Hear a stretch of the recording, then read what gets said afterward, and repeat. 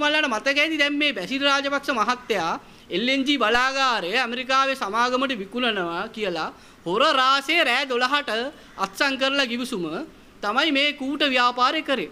ඒකෙන් ගෑස් වල ඒකාධිකාරය ඇමරිකන් සමාගමට යනවා. දැන් ඇත්තටම අපි හිතුවේ මේ ඇමරිකන් සමාගමයි ලංකාවේ පෙට්‍රෝලියම් එකයි හරි කවුරු හරි මේ රාජතාන්ත්‍රික ගිවිසුමක් තමයි මේ ගහලා තියෙන්නේ කියලා. හැබැයි අපි දැක්ක එදා පාර්ලිමේන්තුවල සභාගත කරපු පනතේ මේකේ තියෙන්නේ සම්පූර්ණයෙන්ම කූට වංචනික සමාගමක් කරලා. ශ්‍රී ලංකන් මොකද්ද කියලා සමාගමක් ඇමරිකාවේ රෙජිස්ටර් කළා. ඒ රෙජිස්ටර් කරපු කම්පැනි එක්ක මෙහෙ අස්සම් කරලා. ඒගොල්ලන්ට තමයි මේ ගෑස් දෙන්නේ. එතකොට දැන් මේ ගෑස් ඒකාධිකාරයේ එහෙන් එනකොට මෙහෙන් එනවා රජයේ තියෙන ලිට්‍රෝ ගෑස් එකේ ගෑස් පුපුරනවා. ගෙවල් වල ගෑස් පුපුරනවා. මිනිස්සු මැරෙනවා. දැන් ලීකුවාන් කෝ ලීකුවානුත් නැහැ මාතිරුත් නැහැ මොකෙක්වත් නැහැ. මේ අහිංසක මිනිස්සු අද ගෙදර ඉන්නේ පරමාණු බෝම්බයක් ගෙදර තියනවා වගේ ජීවත් වෙන්නේ. සමහරු ගෑස් ටැංකිය එළියට දානවා. ගෑස් කුකරකත් එළියට දාලා උයන්නේ. ඇයි? කාන්තාව තුවාල වෙන්නේ. අපි දැක්ක පුංචි දරුවෝ බව තුවාල වෙනවා. මැරෙනවා.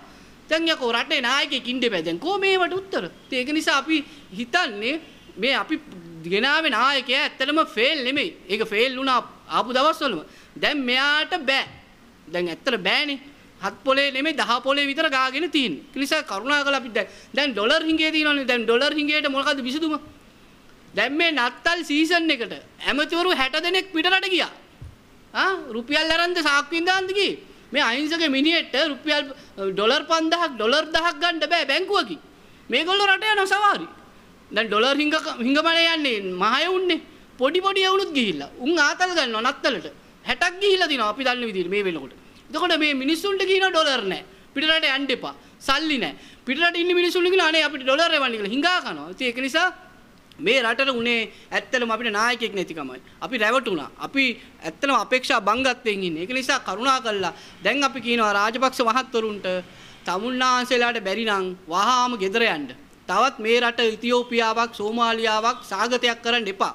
මීට වඩා කරන්න හොඳ මිනිස්සු ඉන්නවා. තමුන්නාන්සේලාගේ උද්දච්චකමයි මහා ලොකු කමයි තමයි මේකට හෙනේ. ඒක නිසා අපි අපි මේ රටේ පාලනයක් හදන්න. අපි මිනිස්සු ගේන්න.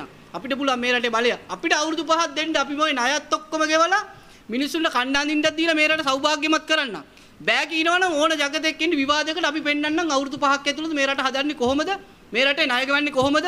මේ තියෙන ආර්ථිකය ගොඩගන්නේ කොහොමද කියලා අපි වැඩපිළිවෙල කියන්නම්. අපි ඒක හදලා තියෙන්නේ. ඒක නිසා අපි චැලෙන්ජ් කරන්නේ නිකන් නෙමෙයි. අපි වැඩසටහන හදලා. ඒක නිසා තමුන්නාසල කවුරු හරි ඔය ආර්ථික ඔස්තාරලා ඔය කබ්රාල් වැඩනම් ඕන කබ්බෙක් එවන්න අපි ඕන channel එක අපි කියන්නම් ආර්ථිකය හදන විදිය. තමුන්නාසල හොරකම් කරන විදිය ඔක්කොම අපි එලි කරලා අවුරුදු පහක් ඇතුළත මේ රට සෞභාග්‍යමත් කරන විදිහට මම කියන්නම්. අපි කියන්නම් වැඩේ. ඉතින් ඒක නිසා අර අවසාන වශයෙන් කියන්නේ මට මතකයි අපි ඉස්කෝලේ යන කාලේ නන්දාමාලිනී මහත්මිය කම්පන ප්‍රසංගයේදී මේ රට මේ අර භීෂණයේ තියෙන වෙලාවේ සින්දුවක් කිව්වනේ. අර තුන් හෙලේ කැල ඇතුළ සිංහ පැටවු කියලා. ඒකේ තියෙනවා පොඩි වාක්‍යයක් මැදි. මම ඒක කියන්න. මොකද්ද?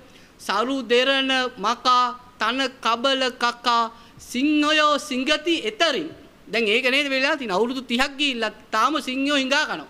ඒ හිඟා කන්නේ මේ වගේ පාදඩයෝ මේ වගේ කාලකන්ණීට මේ රට බාර දීපු හින්දා තමයි. ඒක නිසා කරුණාකර අපි කියනවා රටේ තරුණ පිරිසට මහලු පිරිසටත් වැඩිහිටි පිරිසටත් ආය මේ දේශපාලනයට හවුවෙන්න එපා. මේ පාලදට දේශපාලන ඉවත් කළා. අලුත්ම දේශපාලන බලවේගයක් මේ රටේ පාලනය කරන්න තමුන්නාන්සලා එකතු වෙන්න අපි ඒ සඳහා නායකත්වය දෙන්න කැමතියි කියලා මම බොහොම වගකීමෙන් කියනවා.